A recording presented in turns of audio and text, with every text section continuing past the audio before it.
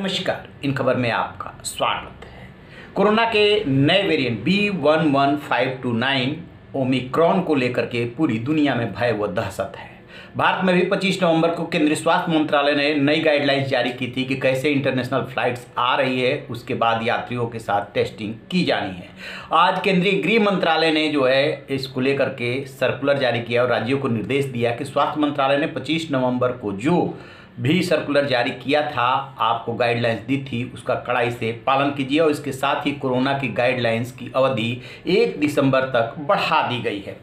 अब 25 नवंबर को स्वास्थ्य मंत्रालय ने क्या कहा था कि उसने ये कहा था कि जहाँ जहाँ पे इंटरनेशनल एयरपोर्ट है, यानी कि अंतर्राष्ट्रीय हवाई अड्डे हैं जहाँ से विदेशों से यात्री आते हैं। वहाँ पे उनकी टेस्टिंग की जानी है। बारह देशों की अलग कैटेगरी बनाई गई थी। हाई रिस्क वाले उनके साथ ये था कि कोई भी बिना टेस्ट के नहीं जाएगा। सबसे पहले आरटीपीसीआर टेस्ट होगा। यदि निगेटिव होता है तो उसको फिर से सात दिन रोका जाएगा, फिर से टेस्ट किया जाएगा। यदि पॉजिटिव होता है तो वहीं से इलाज के लिए भेज दिया जाएगा और उसके सैंपल को जीनोम सिक्वेंसिंग कराई जाएगी।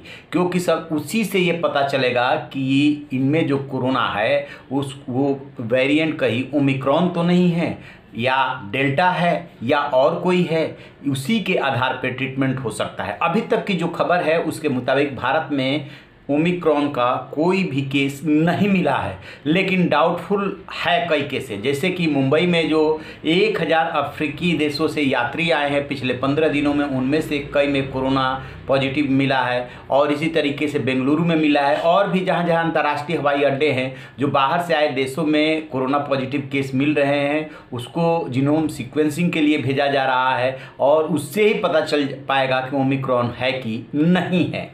अब 31 दिसंबर तक जो गाइडलाइंस बढ़ाई गई है, उसको सबको फॉलो करना है।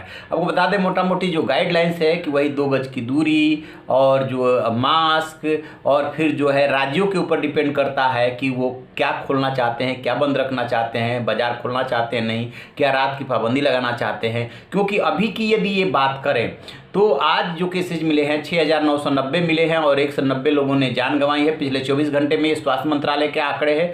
तो भारत की जो आबादी है, उस लिहाज से देखेंगे तो कोरोना के केसेज जो फ़िलहाल के हैं, वो चिंताजनक नहीं है। चिंताजनक है तो वो ओमिक्रॉन है, जिसकी वजह से मुंबई में स्कूल खोलने का जो डिसीज़न हुआ था, उसको पोस्टपोन किया जा रहा। और कई जगहों पर जो है, स्कूल कॉलेज खोलने को लेकर के जो चल रहे हैं, उस पर पुनर्विचार किया जा रहा है। सभी राज्य सरकारें अपने स्तर पर मीटिंग बुला करके ये देख रही हैं कि सैंपल टेस्टिंग जो पॉजिटिव आते हैं, उसके जीनोम सिक्वेंसिंग के लिए कितनी लैब है, कितना डेली टेस्ट कर सकते हैं, जैसे कि दिल्ली में सौ हो सकता है, वैसे ही पश्चिम बंगाल का क्या है, महाराष्ट्र का क्या है, फिर बेड की व्यवस्था की जा रही है कि इसमें किस तरीके के लक्षण पाए जा रहे हैं। आपको बता दें कि 11 और 14 तारीख को 11 तारीख को बोस्वाना में और 14 तारीख को साउथ अफ्रीका में पहला केस मिला था ओमिक्रॉन का, और उसके बाद से ही दुनिया में दहशत फैलनी शुरू हो गई थी। एक अच्छी बात यह है, जो केंद्रीय स्वास्थ्य सचिव है राजेश भूषण, उन्होंने साफ़ किया है कि ये आर टी और एंटीजन टेस्ट से बाहर नहीं है, यानी इन दोनों टेस्ट से ये पकड़ में आ सकता है।